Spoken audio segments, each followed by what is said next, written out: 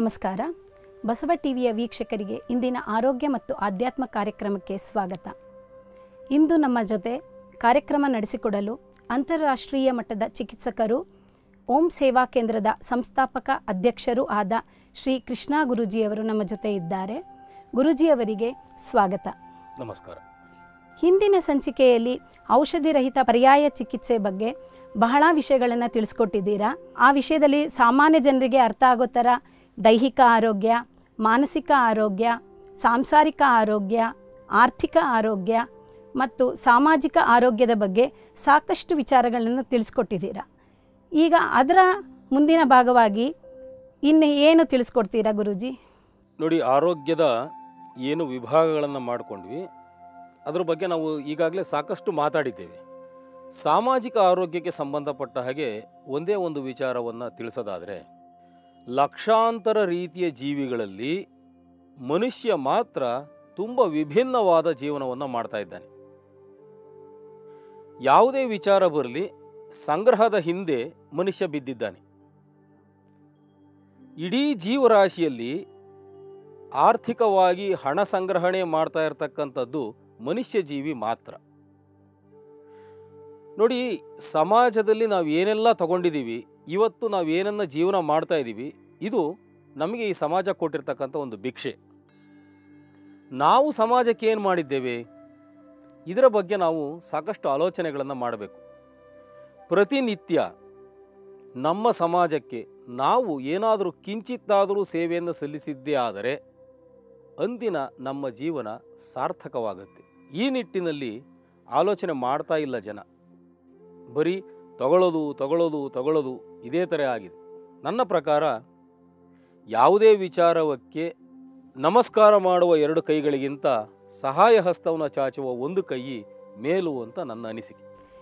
ಹೌದು ಗುರುಜಿ ನಮಗೂ ಸಹಾಯ ಮಾಡೋಕ್ಕೆ ಮನಸ್ಸಿದೆ ಆದರೆ ಹೇಗೆ ಎಲ್ಲಿ ಮಾಡಬೇಕು ಯಾವ ರೀತಿ ಮಾಡಬೇಕು ಅನ್ನೋದು ತಿಳಿತಾ ಇಲ್ಲ. ನೀವು ಯಾವ ತ ಯಾವುದಾದ್ರೂ ಸಮಾಜ ಸೇವೆಯಲ್ಲಿ ಇದ್ದೀರಾ ಯಾವ ಥರ ಮಾಡ್ತಾ ಇದ್ದೀರಾ ಅಂತ ಒಂಚೂರು ತಿಳಿಸ್ಕೊಡ್ತೀರಾ?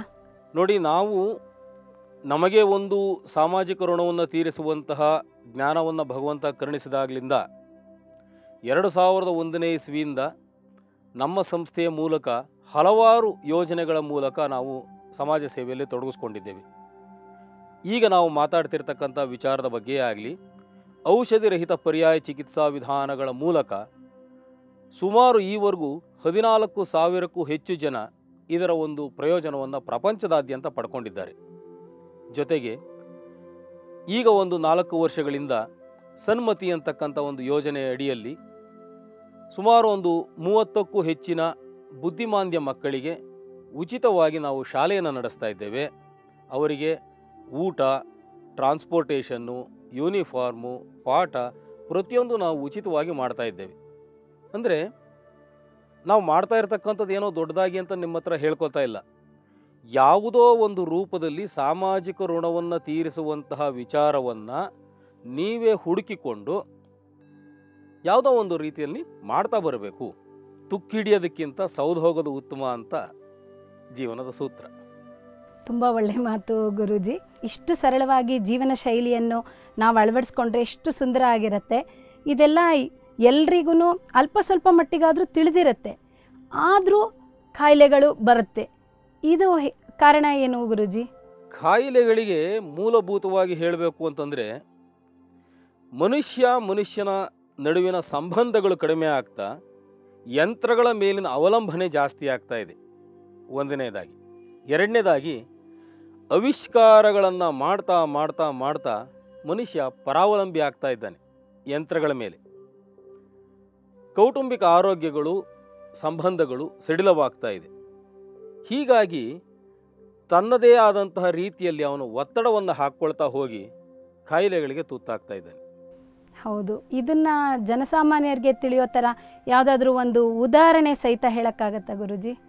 ನೋಡಿ ಎಲ್ಲದೂ ಒಂದು ರೀತಿಯ ಹಸಿವುಗಳು. ಹಣದ ದಾಹನೆ ಇರಲಿ ಹೊಟ್ಟೆ ಹಸಿವೆ ಇರಲಿ ಇತ್ಯಾದಿ.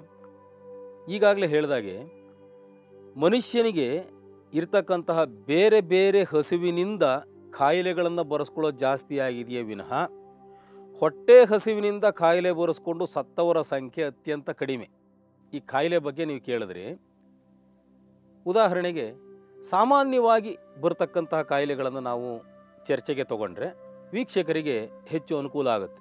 ಉದಾಹರಣೆಗೆ ರಕ್ತದ ಒತ್ತಡ, ಸಕ್ಕರೆ ಕಾಯಿಲೆ, ಕೀಲು ನೋವು, ಮಲಬದ್ಧತೆ ಇತ್ಯಾದಿ ಸಣ್ಣ ಪುಟ್ಟ ಕಾಯಿಲೆಗಳು ಅಂತ ನಮಗೆ ಅನಿಸಿದ್ರು ಅದು ಆ ರೋಗಿಗಳಿಗೆ ಅದರ ತೀವ್ರತೆ ಅನುಭವಿಸ್ತಾ ಇರೋರಿಗೆ ಅದೇ ಒಂದು ದೊಡ್ಡ ವಿಚಾರವಾಗಿರುತ್ತೆ. ಈಗ ನಿಮ್ಮನ್ನೇ ಕೇಳ್ತೀನಿ ಉದಾಹರಣೆಗೆ ನಿಮಗೆ ಬಿ ಪಿ ಇದೆಯಾ? ಇಲ್ಲ ಗುರುಜಿ. ಇಲ್ವಾ? ಇಲ್ಲ. ಬಿ ಪಿ ಅಂದರೆ ಏನು? ರಕ್ತದೊತ್ತಡ ರಕ್ತದ ಒತ್ತಡ. ನೋಡಿ ಅಲ್ಲಿ ರಕ್ತದ ಒತ್ತಡ ಪ್ರತಿಯೊಬ್ಬ ಮನುಷ್ಯನಿಗೂ ಇದ್ದೇ ಇರತ್ತೆ. ಅದು ಯಾವ ಪ್ರಮಾಣದಲ್ಲಿ ನಿಮ್ಮ ದೇಹದಲ್ಲಿ ಇರಬೇಕೋ ಅಷ್ಟು ಇದ್ದರೆ ಮಾತ್ರ ನಿಮಗೆ ಆರೋಗ್ಯವಾಗಿದ್ದೀರಾ ಅಂತ ಅರ್ಥ. ಅದು ಏರುಪೇರಾದಾಗ ಅದನ್ನು ನಾವು ಕಾಯಿಲೆಯ ಹೆಸರಿನಲ್ಲಿ ಹೆಚ್ಚಿನ ರಕ್ತದ ಒತ್ತಡ ಕಡಿಮೆ ರಕ್ತದ ಒತ್ತಡ ಅಂತ ನಾವು ಹೇಳ್ತೇವೆ. ಅದನ್ನು ಹೊರತುಪಡಿಸಿ ಬಿ ಪಿ ಪ್ರತಿಯೊಬ್ಬರಿಗೂ ಇದ್ದೇ ಇರುತ್ತೆ. ಹೌದು. ಆ ರಕ್ತದ ಒತ್ತಡ ಆ ಮನುಷ್ಯನ ಆರೋಗ್ಯಕ್ಕಿಂತ ತುಂಬ ಹೆಚ್ಚಾದಾಗ ಅಧಿಕ ರಕ್ತದ ಒತ್ತಡ ಅಂತ ಅವಶ್ಯಕತೆಗಿಂತ ತುಂಬ ಕಡಿಮೆ ಆದಾಗ ಕಡಿಮೆ ರಕ್ತದ ಒತ್ತಡ ಅಂತ ಹೇಳಿ ನಾವು ಕರಿತೇವೆ. ಹೌದಾ? ಆದರೆ ಆಗಲೇ ನಿಮ್ಗೆ ಹೇಳ್ತಾ ಇದ್ದೆ, ವೈದ್ಯಕೀಯವಾಗಿ ಒಂದು ಹಂತದ ತನಕ ಚಿಕಿತ್ಸೆಗಳು ನಡೆಯುತ್ತೆ. ಆ ಹಂತವನ್ನು ಮೀರಿದ ನಂತರ ನಡೆಯುವುದೆಲ್ಲ ಬರೀ ವ್ಯಾಪಾರ. ಹೇಗೆ ಅಂದರೆ, ಸಣ್ಣ ಪುಟ್ಟ ಕಾಯಿಲೆಗಳಿಗೂ ದೊಡ್ಡ ದೊಡ್ಡ ಯಂತ್ರಗಳನ್ನು ಬಳಕೆ ಮಾಡಿ ನಿಮ್ಮನ್ನು ತಪಾಸಣೆಗೆ ಒಳಪಡಿಸ್ತಕ್ಕಂಥದ್ದು ಈಗಿನ ಕಾಲದಲ್ಲಿ ಸಾಮಾನ್ಯವಾಗಿದೆ. ಅದು ಪ್ರಾಯೋಗಿಕವಾಗಿ ಹೇಳೋದಾದರೆ ಮನುಷ್ಯನ ಆರೋಗ್ಯದ ತಪಾಸಣೆಗೆ ಅನಾವಶ್ಯಕ. ಇನ್ನೊಂದು ಅರ್ಥದಲ್ಲಿ. ಉದಾಹರಣೆಗೆ, ಬಿ ಪಿ ಎಂಬತ್ತರಿಂದ ನೂರ ಇಪ್ಪತ್ತು ಇರಬೇಕು ಅಂತ ಹೇಳಿ ಒಂದು ಪ್ರಮಾಣವನ್ನು ನಿಗದಿ ಮಾಡಿದ್ದಾರೆ. ಯಾರು ನಿಗದಿ ಮಾಡಿದ್ದು? ಗೊತ್ತಿಲ್ಲ. ನಿಗದಿ ಮಾಡಿದಂತಹ ವ್ಯಕ್ತಿಗಳು ನಮ್ಮ ದೇಶದವರೇ ಅಲ್ಲ. ಇನ್ಶೂರೆನ್ಸ್ ಬೇಸ್ಡ್ ಕಂಟ್ರೀಸ್ ಯಾವುದಿದೆ? ಅಂತಹ ದೇಶದಲ್ಲಿರ್ತಕ್ಕಂತಹ ಒಂದು ಸಂಸ್ಥೆ ಯಾವುದೋ ಒಂದು ಸಂದರ್ಭದಲ್ಲಿ ಮಿಲಿಟರಿ ಸೈನಿಕರನ್ನು ಒಂದು ಗುಂಪನ್ನು ಉದಾಹರಣೆಯಾಗಿ ತಗೊಂಡು ಅವರ ರಕ್ತದ ಒತ್ತಡವನ್ನು ನೋಡಿ ಎಂಬತ್ತರಿಂದ ನೂರಿಪ್ಪತ್ತು ಅಂತಕ್ಕಂಥ ಒಂದು ಸರಾಸರಿಯನ್ನು ತಗೊಂಡು ಇದು ಆರೋಗ್ಯವಂತ ಮನುಷ್ಯನ ಬಿ ಪಿ ಇರಬೇಕಾದಂತಹ ಒಂದು ರೇಂಜ್ ಅಂತ ಹೇಳಿ ಫಿಕ್ಸ್ ಮಾಡಿದ್ದಾರೆ. ಸಾಮಾನ್ಯ ಜ್ಞಾನವನ್ನು ಇಟ್ಕೊಂಡು ನಾವು ಆಲೋಚನೆ ಮಾಡೋದಾದರೆ ಗೃಹಿಣಿಯರಿರ್ತಾರೆ, ಮಕ್ಕಳಿದ್ದಾರೆ, ಕೂಲಿ ಕಾರ್ಮಿಕರಿದ್ದಾರೆ, ಫ್ಯಾಕ್ಟ್ರಿಗಳಲ್ಲಿ ಕೆಲಸ ಮಾಡ್ತಕ್ಕಂಥ ಕಾರ್ಮಿಕರಿದ್ದಾರೆ, ಸಾಫ್ಟ್ವೇರ್ ಇಂಜಿನಿಯರ್ಗಳಿದ್ದಾರೆ, ಎಷ್ಟು ಬೇರೆ ಬೇರೆ ರೀತಿಯ ಗುಂಪುಗಳನ್ನು ನಾವು ಮಾಡ್ಕೋಬಹುದು. ಎಲ್ಲರ ಬಿ ಪಿ ಒಂದೇ ಇರೋಕ್ಕೆ ಸಾಧ್ಯನಾ? ಇಲ್ಲ. ಮತ್ತು ಹೇಗೆ ಅದನ್ನು ನಾವು ಒಪ್ಕೊಳ್ತೀವಿ? ನೂರಿಪ್ಪತ್ತಿರೋದು ನೂರ ಮೂವತ್ತು ನೂರ ನಲವತ್ತು ಹೋದ ತಕ್ಷಣ ವೈದ್ಯಕೀಯ ಕ್ಷೇತ್ರದಲ್ಲಿ ನೀವು ಒಬ್ಬರು ಬಿ ಪಿ ಪೇಷಂಟ್ ಅಂತ ಹೇಳಿ ನಿಮ್ಮನ್ನು ಗುರುತಿಸಿ ನಿಮಗೆ ಮಾತ್ರೆಯನ್ನು ಕೊಟ್ಟು ಎಷ್ಟು ದಿನ ತಗೋಬೇಕು? ಸಾಯೋ ತನಕ ತಗೊಳ್ಳಿ ಆಮೇಲೆ ಬೇಡ ಅಂತ ಹೇಳ್ತಾರೆ. ಬಿ ಪಿ ಡಯಾಬಿಟಿಕ್ಕು ಇಂತಹ ಕಾಯಿಲೆಗಳನ್ನು ಒಂದು ಥರ ಫಿಕ್ಸ್ ಮಾಡ್ತಾ ಇದ್ದಾರೆ ವೈದ್ಯಕೀಯ ಕ್ಷೇತ್ರದಲ್ಲಿ. ಈ ವಿಚಾರವನ್ನು ಕೇಳೇ ಎಷ್ಟೊಂದು ಜನಕ್ಕೆ ಬಿ ಪಿ ಜಾಸ್ತಿ ಆಗಿರ್ಬೋದು ಇವಾಗ. ಅಂದರೆ ನಾನು ಹೇಳ್ತಕ್ಕಂಥದ್ದು, ಈಗ ಬಿ ಪಿ ಬಗ್ಗೆ ಮಾತಾಡ್ತಿದ್ದೀವಿ ಅದನ್ನೇ ಉದಾಹರಣೆಯಾಗಿ ಹೇಳೋದಾದರೆ, ಯಾವುದೇ ಒಂದು ಗರಿಷ್ಠ, ಕನಿಷ್ಠ ಪ್ರಮಾಣದ ಬಿ ಪಿಯನ್ನು ನಾವು ನಿಗದಿಗೊಳಿಸಬೇಕಾದ್ರೆ, ಈಗ ವಿದ್ಯಾರ್ಥಿಗಳು ಅಂದರೆ ಅಂತಹ ವಿದ್ಯಾರ್ಥಿಗಳ ಸಮೂಹಕ್ಕೆ ನಾವು ಬಿ ಪಿಯನ್ನು ಚೆಕ್ ಮಾಡಿ ಗ್ರಾಮೀಣ ಪ್ರದೇಶದಲ್ಲಿರ್ತಕ್ಕಂಥ ವಿದ್ಯಾರ್ಥಿಗಳದೇ ಬೇರೆ ಇರುತ್ತೆ. ಪಟ್ಟಣ ಪ್ರದೇಶದಲ್ಲಿರ್ತಕ್ಕಂಥವ್ರದ್ದೇ ಬೇರೆ ಇರುತ್ತೆ.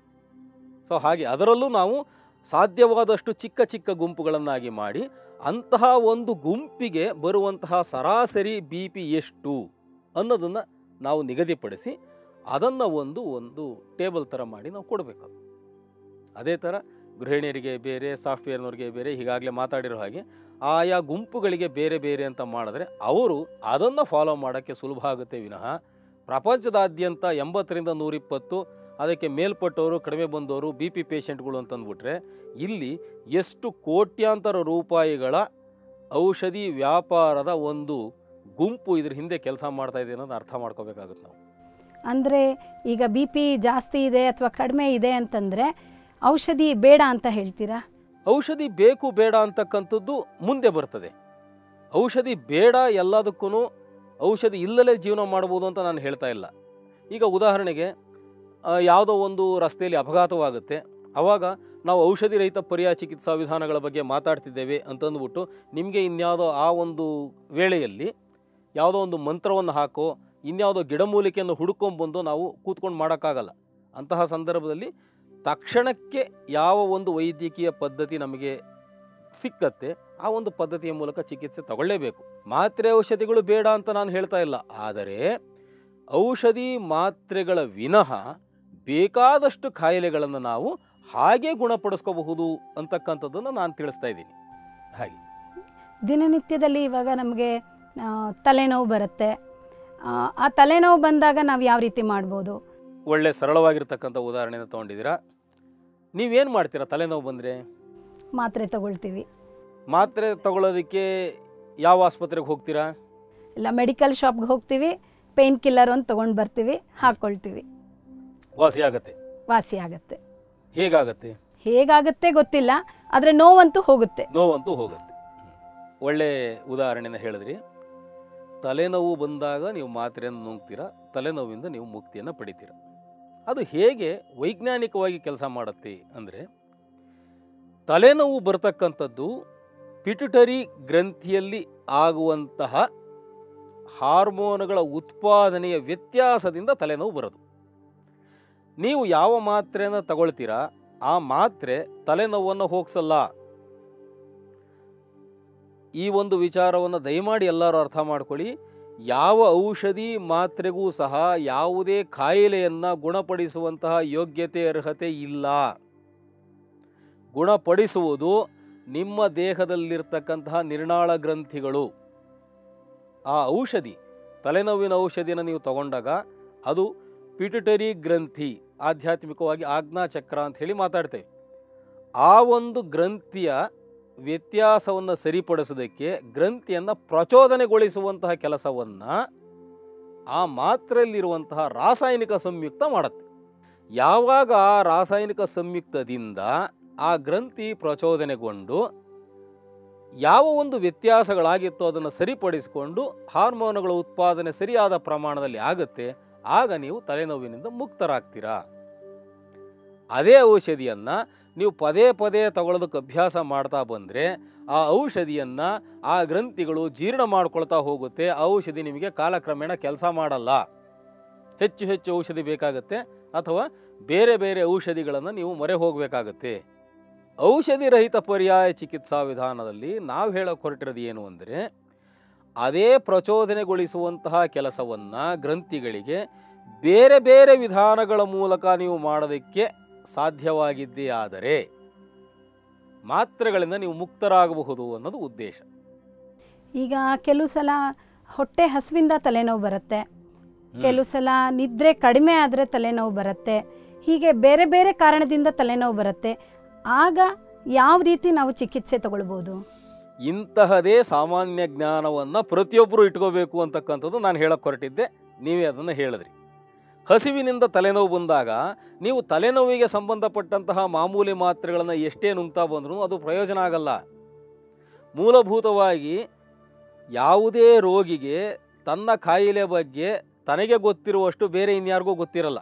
ಉದಾಹರಣೆಗೆ, ನೀವು ವೈದ್ಯರ ಹತ್ರ ಹೋಗಿ ಹೊಟ್ಟೆ ನೋವು ಬಂದಿದೆ, ಮಾತ್ರೆ ಕೊಡಿ ಅಂತ ಕೇಳಿದ್ರೆ ಕೊಡೋಕ್ಕೂ ನೀವು ಹೊಟ್ಟೆನ ಹಿಸುಕ್ಕೊಂತ, ಅಯ್ಯೋ, ತುಂಬ ಹೊಟ್ಟೆ ನೋವು ಬಂದಿದೆ ಡಾಕ್ಟ್ರೆ, ರಾತ್ರಿ ಹಿಂಗೆ ನೋವ್ತಾ ಇತ್ತು, ಹಂಗೆ ನೋವ್ತಾ ಇತ್ತು, ಇವಾಗ ಈ ಕಡೆ ಬಂತು, ಹಾಗೆ ಅಂದ್ಬಿಟ್ಟು ನೀವು ಮುಖಭಾವವನ್ನು ಯಾವ ರೀತಿ ವ್ಯಕ್ತಪಡಿಸಿ ಆ ನೋವಿನ ವಿವರಗಳನ್ನು ಅವ್ರ ಮುಂದೆ ತೋಡ್ಕೊಳ್ತೀರಾ, ಆಗ ಆ ಕಾಯಿಲೆಯ ತೀವ್ರತೆ ಬಗ್ಗೆ ವೈದ್ಯರು ಒಂದು ಅಂದಾಜು ಮಾಡಿಕೊಂಡು ಅದಕ್ಕೆ ಸಂಬಂಧಪಟ್ಟ ಔಷಧೋಪಚಾರಗಳನ್ನು ಮಾಡ್ತಾರೆ.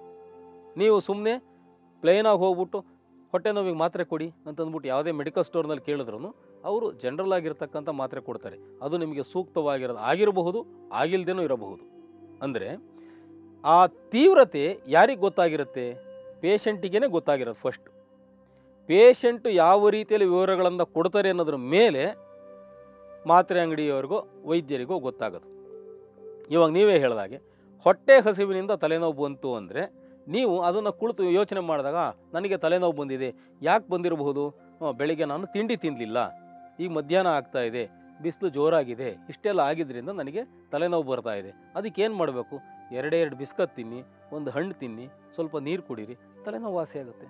ಇಂತಹ ಒಂದು ಸಾಮಾನ್ಯ ಜ್ಞಾನವನ್ನು ನಾವು ಬೆಳೆಸ್ಕೊಂಡಿದ್ದೇ ಆದರೆ ನಮ್ಮನ್ನು ನಾವು ಆದಷ್ಟು ಮಾತ್ರೆಗಳಿಂದ ದೂರ ಇಟ್ಬೋದು ಅಂತಕ್ಕಂಥದ್ದು ಉದ್ದೇಶ. ಹಾಗಾದರೆ ಗುರುಜಿ ಬಿ ಪಿ ಮತ್ತು ತಲೆನೋವಿಗೆ ಪರಿಹಾರ ಏನು? ಪರಿಹಾರ ಬೇಕಾದಷ್ಟಿದೆ.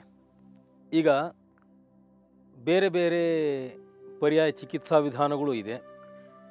ಬಿ ಪಿ ಅಥವಾ ತಲೆನೋವು, ಯಾವುದೇ ಆಗಲಿ, ಯಾವುದೇ ಕಾಯಿಲೆಗಳಾಗಲಿ, ಕಾಯಿಲೆಯ ಭಾವೋದ್ವೇಗದ ಮೂಲಗಳು ಅಂತ ಒಂದು ನಮ್ಮದೇ ಆದಂಥ ಒಂದು ಕ್ರಮ ಇದೆ. ಇದನ್ನು ಆಪ್ತ ಸಮಾಲೋಚನೆಯ ಮೂಲಕ ನಾವು ಕಂಡುಕೊಳ್ತೀವಿ. ಆಪ್ತ ಸಮಾಲೋಚನೆ ಅಂದ್ರೇನು? ಈಗಾಗಲೇ ಹೇಳಿದ ಹಾಗೆ, ಯಾವುದೇ ಒಂದು ರೋಗಿಗೆ ತನ್ನ ರೋಗದ ಬಗ್ಗೆ ಅತ್ಯಂತ ನಿಖರವಾಗಿ ವ್ಯಕ್ತಪಡಿಸುವಂತಹ ಸಾಮರ್ಥ್ಯವಿರುತ್ತೆ ವಿನಃ. ಬೇರೆ ವ್ಯಕ್ತಿಗಳು ನೇರವಾಗಿ ಅವ್ರಿಗೆ ಇಂಥದೇ ರೋಗ ಇದೆ ಅಂತ ಕಂಡುಕೊಳ್ಳೋದಕ್ಕೆ ಅಸಾಧ್ಯ. ಎಷ್ಟೋ ಬಾರಿ ರೋಗಿಗಳು ಕೂತ್ಕೊಂಡಾಗ ಮನಸ್ಸನ್ನು ಬಿಚ್ಚಿ ಮಾತಾಡಲ್ಲ. ಆ ಒಂದು ಬಿಗಿತ, ಹಿಡಿತಗಳು ಹಲವಾರು ಕಾರಣಗಳಿಂದ ಇರುತ್ತೆ ಆಪ್ತ ಸಮಾಲೋಚನೆಯಲ್ಲಿ ನಾವು ಕುಳಿತುಕೊಂಡಾಗ, ಈಗ ನೀವು ಹೇಳಿದಾಗೆ ಉದಾಹರಣೆಗೆ ತಲೆನೋವು ಅಂತ ಬಂದರೆ ತಲೆನೋವಿಗೆ ನಾವು ನೇರವಾಗಿ ಇಂಥದೇ ಒಂದು ಕಾರಣಕ್ಕೆ ತಲೆನೋವು ಬಂದಿದೆ, ಇಂಥ ಒಂದು ಮಾತ್ರೆಯನ್ನು ನುಂಗಿ ಈ ಥರದೊಂದು ಲೇಹ್ಯವನ್ನು ತಿನ್ನಿ ಅಥವಾ ಒಂದು ಔಷಧಿಯನ್ನು ಲೇಪನ ಮಾಡಿಕೊಳ್ಳಿ ಅಂತ ಹೇಳಿ ನಾವು ಕನ್ಕ್ಲೂಷನ್ಗೆ ಬರೋದು ತಪ್ಪಾಗತ್ತೆ. ಅವರನ್ನು ಪ್ರಪ್ರಥಮವಾಗಿ ರಿಲ್ಯಾಕ್ಸ್ಡಾಗಿ ಕೂತ್ಕೊಳ್ಳೋಕ್ಕೆ ಹೇಳಿ, ಸಮಾಧಾನವಾಗಿರಿ, ಎಲ್ಲದಕ್ಕೂ ಪರಿಹಾರ ಇದೆ. ತಲೆನೋವು ಬಂತು. ಯಾವಾಗ ಬಂತು? ಯಾಕೆ ಬಂತು? ಯಾವುದಕ್ಕೆ ಇರಬಹುದು? ಇತ್ಯಾದಿ ನಿಮ್ಮದೇ ಆದಂತಹ ಒಂದು ಶೈಲಿಯಲ್ಲಿ ಆಪ್ತ ಸಮಾಲೋಚನೆಯನ್ನು ಮಾಡ್ತಾ ಮಾಡ್ತಾ ಮಾಡ್ತಾ ಹೋದರೆ ಯಾವುದೋ ಒಂದು ರೂಪದಲ್ಲಿ ನೀವು ಕಾಯಿಲೆಯ ಮೂಲವನ್ನು ಮುಟ್ತೀರಾ? ಅದರ ಬಗ್ಗೆ ನೀವು ಅಧ್ಯಯನ ಮಾಡಿರಬೇಕು. ಅದು ನಾನು ಇಲ್ಲ ಅಂತ ಹೇಳ್ತಾ ಇಲ್ಲ. ಆ ಅಧ್ಯಯನ ನೀವು ಮಾಡಿದರೆ ಆ ಒಂದು ಮೂಲ ನಿಮಗೆ ಗೊತ್ತಾದರೆ ನಿಮ್ಗೆ ಅವಾಗ ಗೊತ್ತಾಗುತ್ತೆ, ಆ ಈ ಮೂಲದಿಂದ ಉದ್ಭವ ಆಗಿರತಕ್ಕಂತಹ ವಿಚಾರಗಳು ಒಂದಕ್ಕೊಂದು ಕೊಂಡಿಯ ರೂಪದಲ್ಲಿ ಬೆಳೆದು ಇವರಿಗೆ ತಲೆನೋವು ಬಂದಿದೆ. ನೀವು ನೇರವಾಗಿ ಮಾತ್ರೆಯನ್ನು ಕೊಟ್ಟರೆ ಮಾತ್ರೆಯ ಒಂದು ಪವರ್ ಶಕ್ತಿ ಏನಿರುತ್ತೆ? ಅಲ್ಲಿ ತನಕ ಅವರು ನೋವಿನಿಂದ ಮುಕ್ತರಾಗಿರ್ತಾರೆ ವಿನಃ ತಲೆನೋವು ಮೂಲವಾಗಿ ಹೋಗಿರೋದಿಲ್ಲ. ಅಂದರೆ ಮೆದುಳಿನಲ್ಲಿ ಇರತಕ್ಕಂತಹ ನೋವನ್ನು ಗುರುತಿಸುವಂತಹ ನರಮಂಡಲಕ್ಕೂ ನೋವಿಗೂ ಮಧ್ಯ ಒಂದು ಪದರವನ್ನು ಅದು ಏರ್ಪಾಡು ಮಾಡುತ್ತೆ. ಯಾವುದೇ ಪೇಯ್ನ್ ಕಿಲ್ಲರ್ಗಳು ನೋವಿರುತ್ತೆ ಮೂಲಭೂತವಾಗಿ, ನಿಮ್ಮ ಅರಿವಿಗೆ ಬರಲ್ಲ. ಲೋಕಲ್ ಅನಸ್ತೇಷಿಯಾ ಕೊಟ್ಬಿಟ್ಟು ಸಣ್ಣ ಪುಟ್ಟ ಗಾಯಗಳನ್ನು ಆಪ್ರೇಷನ್ ಮಾಡಿ ಸರಿ ಮಾಡ್ತಾರಲ್ಲ, ಬಿದ್ದು ಗಾಯ ಆದಾಗ ಹೊಲಿಗೆ ಹಾಕಬೇಕಾದ್ರೆ ಲೋಕಲ್ ಅನಸ್ತೇಶ ಕೊಡ್ತಾರಲ್ಲ, ಆ ರೀತಿ. ನೋವಾಗ್ತಾ ಇರುತ್ತೆ, ನಿಮ್ಮ ಅರಿವಿಗೆ ಬಂದಿರೋದಿಲ್ಲ. ಅಂತಹ ಒಂದು ಕೆಲಸ ಮಾಡೋದ್ರಿಂದ ಅದು ತಾತ್ಕಾಲಿಕ ಉಪಶಮನ. ಶಾಶ್ವತ ಉಪಶಮನ ಬೇಕು ಅಂದರೆ ಕಾಯಿಲೆಯ ಮೂಲವನ್ನು ಹುಡುಕಬೇಕು. ಆ ಮೂಲವನ್ನು ನೀವು ಹುಡುಕೋದಕ್ಕೆ ಬೇಕಾದಷ್ಟು ಪದ್ಧತಿಗಳಿದೆ. ಆ ಥರ ಹೋಗಿ ನೀವು ಆ ಒಂದು ನಿವಾರಣೆಗೆ ಒಂದು ಪರಿಹಾರವನ್ನು ಕೊಡಬೇಕು. ಹಸಿವಿನಿಂದ ಬಂದಿದ್ದು ಅಂತ ಹೇಳಿದ್ದು, ಹಸಿವಿನಿಂದ ತಲೆನೋವು ಬರುವ ಸಾಧ್ಯತೆ ಇರುತ್ತೆ ಅನ್ನೋದು ಒಂದು ಮೂಲ. ಅದರಿಂದನೇ ಬರುತ್ತೆ ಅಂತಲ್ಲ. ದಿನಕ್ಕೆ ಏಳೆಂಟು ಸರಿ ತಿಂದು ಆರಾಮಾಗಿರ್ತಕ್ಕಂಥವ್ರು ಬೇಕಾದಷ್ಟು ಜನ ಇದ್ದಾರೆ ಅವ್ರಿಗೆ ತಲೆನೋವು ಬರೋದೇ ಇಲ್ಲ ಅಂತಲ್ಲ. ಕಣ್ಣಿನ ತೊಂದರೆಯಿಂದ ತಲೆನೋವು ಬರಬಹುದು. ಮೈನರ್ ನರ್ವ್ಸ್ ಸಿಸ್ಟಮಲ್ಲಿ ಆಕ್ಸಿಜನ್ ಸಪ್ಲೈ, ಬ್ಲಡ್ ಸರ್ಕ್ಯುಲೇಷನ್ ಸರಿಯಾಗಿ ಆಗದೇ ಇದ್ದರೆ ಬರಬಹುದು. ಪಿಟಟರಿ ಗ್ಲ್ಯಾಂಡಿನ ವ್ಯಾಪ್ತಿಯಲ್ಲಿ ಬರತಕ್ಕಂಥ ಯಾವುದೇ ಮೈನರ್ ನರ್ವ್ಸಲ್ಲಿ ವ್ಯತ್ಯಾಸಗಳಾದ್ರೂ ಅದು ಕಣ್ಣಿನ ನೋವಿಗೆ ಕಾರಣವಾಗುತ್ತೆ. ಆ ಕಾರಣದಿಂದ ತಲೆನೋವು ಬರುವಂತಹ ಸಾಧ್ಯತೆಗಳು ಹೇರಳವಾಗಿರುತ್ತೆ. ಹೀಗೆ ಯಾವುದೇ ಕಾರಣ ಇರ್ಬೋದು. ಕಾರಣವನ್ನು ನೀವು ಆಪ್ತ ಸಮಾಲೋಚನೆ ಮೂಲಕ ಹುಡುಕಬೇಕು. ಅದೇ ರೀತಿ ಬಿ ಪಿ ಬಿ ಪಿ ಒಂದು ಕೇಳಿದ್ರಿ. ಬಿ ಪಿ ಅಂದ ತಕ್ಷಣ ಹೈ ಬಿ ಪಿಯ ಲೋ ಬಿ ಪಿಯ ಅದನ್ನು ಫಸ್ಟು ನೀವು ನಿಖರವಾಗಿ ಫಸ್ಟು ತಿಳ್ಕೋಬೇಕು. ಹೈ ಬಿ ಪಿ ಇದ್ದವರಿಗೆ ಲೋ ಬಿ ಪಿಗೆ ಸಂಬಂಧಪಟ್ಟ ಪರಿಹಾರಗಳನ್ನು ಕೊಡ್ತಾ ಹೋಗ್ಬಿಟ್ರೆ ತೊಂದರೆ ಆಗುತ್ತೆ. ಸೊ ಹೈ ಬಿ ಪಿ ಬಂತು ಅಂದರೆ ಏನಕ್ಕೆ ಬಂದಿರಬಹುದು? ಅವರ ಕುಟುಂಬದ ಸದಸ್ಯರು ಯಾರ್ಯಾರಿದ್ದಾರೆ? ಇವರು ಮಾಡ್ತಕ್ಕಂಥ ಕೆಲಸ ಏನು? ಇವರಿಗೆ ವಿಶ್ರಾಂತಿ ಎಷ್ಟು ಸಿಕ್ಕತ್ತೆ? ಎಷ್ಟು ಗಂಟೆ ಕೆಲಸ ಮಾಡ್ತಾರೆ? ಆ ಕೆಲಸ ಮಾಡ್ತಕ್ಕಂತಹ ರೀತಿ ನೀತಿಗಳು ಏನಿದೆ? ಅದು ಇವರ ದೇಹದ ಆರೋಗ್ಯಕ್ಕೆ ತಡಿತಾ ಇದೆಯಾ ಇಲ್ವಾ? ಮನಸ್ಸಿಗೆ ಅದು ಒತ್ತಡ ಎಷ್ಟನ್ನು ಹಾಕ್ತಾ ಇದೆ? ಇತ್ಯಾದಿ ಹಲವಾರು ವಿಚಾರಗಳನ್ನು ನೀವು ತಿಳ್ಕೊಂಡು ಆ ಬಿ ಪಿ ಜಾಸ್ತಿಯಾಗಿರೋದಕ್ಕೆ ಕಾರಣ ಏನು? ಕಡಿಮೆ ಆಗಿರೋದಕ್ಕೆ ಕಾರಣ ಏನು ಅನ್ನೋದನ್ನು ನೀವು ಒಂದು ಕನ್ಕ್ಲೂಷನಿಗೆ ಬರಬೇಕಾಗತ್ತೆ. ಅದಾದ ನಂತರ ಅದಕ್ಕೆ ಸಂಬಂಧಪಟ್ಟ ಪರಿಹಾರಗಳು. ಪರಿಹಾರಗಳು ಬೇಕಾದಷ್ಟಿದೆ ಬೇಕಾದಷ್ಟು ಪದ್ಧತಿಗಳಿದೆ. ಆ ಪರಿಹಾರಕ್ಕೆ ಬರೋದಕ್ಕೆ ಮುನ್ನ ನೀವು ಆಪ್ತ ಸಮಾಲೋಚನೆಯನ್ನು ತುಂಬ ನಿಖರವಾಗಿ ಮಾಡಬೇಕಾಗತ್ತೆ. ಆ, ಕೆಲವು ಪದ್ಧತಿಗಳ ಬಗ್ಗೆ ಹೇಳ್ತೀರಾ? ಯಾವ್ಯಾವ್ದಿದೆ ಅಂತ? ವೈದ್ಯಕೀಯ ಪದ್ಧತಿಗಳು ಪರಿಹಾರಕ್ಕೆ ಬೇಕಾದಷ್ಟಿದೆ. ನೋಡಿ ನಾವು ಮಾಡ್ತಾ ಇರತಕ್ಕಂಥದ್ದು ನ್ಯಾಚುರೋಪತಿ. ಈಗ ಚಾಲ್ತಿಯಲ್ಲಿ ಇರತಕ್ಕಂಥದ್ದು ಅಲೋಪತಿ. ಆಯುರ್ವೇದ ಇದೆ, ಯುನಾನಿ ಇದೆ, ಸಿದ್ಧ ಇದೆ, ಮಂತ್ರಗಳನ್ನು ಉಪಯೋಗಿಸಿ ಮಾಡ್ತಾರೆ, ತಂತ್ರಗಳನ್ನು ಉಪಯೋಗಿಸಿ ಮಾಡ್ತಾರೆ. ಆನಂತರ ನ್ಯಾಚುರಲ್ ಪದ್ಧತಿಯಲ್ಲಿ ನೈಸರ್ಗಿಕ ಚಿಕಿತ್ಸಾ ವಿಧಾನದಲ್ಲಿ ಬೇಕಾದಷ್ಟು ವೆರೈಟಿ ಇದೆ. Reiki, pranic healing, Siddha acupressure acupuncture water therapy ಅದನ್ನೇ ಹೈಡ್ರೋಥೆರಪಿ ಅಂತ ಅಂತೀವಿ ಕಲರ್ ಥೆರಪಿ ಅಂತಿದೆ, ಚಕ್ರಗಳ ಥೆರಪಿ ಅಂತಿದೆ ಪಾಸ್ಟ್ಲೇಫ್ ರಿಗ್ರೇಷನು ಸೆಲ್ಫ್ ಹಿಪ್ನೋಸಿಸ್ಸು ತುಂಬ ಇದೆ. ತುಂಬಾ ವಿಧಾನಗಳು ಹೇಳ್ತಿದ್ದೀರಾ. ಹಾಗಾದ್ರೆ ಇದ್ರ ಬಗ್ಗೆ ಎಲ್ಲ ನಾವು ಮುಂದಿನ ಸಂಚಿಕೆಯಲ್ಲಿ ಚರ್ಚಿಸ್ಬೋದೇನೋ. ಇಲ್ಲಿಯವರೆಗೂ ಬೇಕಾದಷ್ಟು ಪದ್ಧತಿಗಳ ಬಗ್ಗೆ ಹೇಳಿದ್ರಿ. ಅದರಲ್ಲಿ ಬಿ ಪಿ ಮತ್ತು ತಲೆನೋವಿಗೆಲ್ಲ ಯಾವ್ಯಾವ ಪದ್ಧತಿಯಿಂದ ನಾವು ಗುಣಪಡಿಸ್ಕೊಳ್ಬೋದು ಅಂತ ನಮಗೆ ಮುಂದಿನ ಸಂಚಿಕೆಯಲ್ಲಿ ನಾವು ತಿಳ್ಕೊಳ್ಳೋಣ. ಇಷ್ಟೋ ತನಕ ನೀವು ತಿಳಿಸ್ಕೊಟ್ಟಿದ್ದಕ್ಕೆ ಧನ್ಯವಾದಗಳು ಗುರುಜಿ. ನಮಸ್ಕಾರ. ಇಲ್ಲಿಯವರೆಗೂ ಆರೋಗ್ಯ ಮತ್ತು ಆಧ್ಯಾತ್ಮ ಕಾರ್ಯಕ್ರಮ ವೀಕ್ಷಿಸಿದ ಸಮಸ್ತರಿಗೂ ಧನ್ಯವಾದಗಳು. ನಿರಂತರವಾಗಿ ನೋಡ್ತಾ ಇರಿ ಶ್ರೀ ಬಸವ ಟಿವಿ. ಇದು ಸಂಸ್ಕಾರದ ಬೆಳಕು. ಶರಣು ಶರಣಾರ್ಥಿ. ಶ್ರೀ ಕೃಷ್ಣ ಗುರುಜಿ, ಅಂತಾರಾಷ್ಟ್ರೀಯ ಮಟ್ಟದ ಚಿಕಿತ್ಸಕರು ಹಾಗೂ ಸಂಸ್ಥಾಪಕ ಅಧ್ಯಕ್ಷರು, ಓಂ ಸೇವಾ ಕೇಂದ್ರ, ವಿಳಾಸ ಓಂ ಸೇವಾ ಕೇಂದ್ರ, ನಂಬರ್ ಎಂಬತ್ಮೂರು, ಮೂರನೇ A main, syndicate bank colony, Harohalli ಮುಖ್ಯ ರಸ್ತೆ ವಿಶ್ವನಿಧಂ ಪೋಸ್ಟ್, ಬೆಂಗಳೂರು ಐದು ಆರು ಸೊನ್ನೆ ಸೊನ್ನೆ ಒಂಬತ್ತು ಒಂದು. ದೂರವಾಣಿ ಸಂಖ್ಯೆಗಳು ಒಂಬತ್ತು ನಾಲ್ಕು ಎಂಟು, ಮೂರು ಒಂದು ಎಂಟು, ಒಂದು ಒಂದು ಐದು ಐದು ಮತ್ತು ಸೊನ್ನೆ ಎಂಟು ಸೊನ್ನೆ, ಎರಡು ಮೂರು ಎರಡು, ನಾಲ್ಕು ಐದು ಐದು ಐದು ಐದು. ಇಮೇಲ್ ವಿಳಾಸ Om Seva Kendra DLR at Gmail dot com. Website ವಿಳಾಸ W W W dot Om Seva Kendra dot O R G.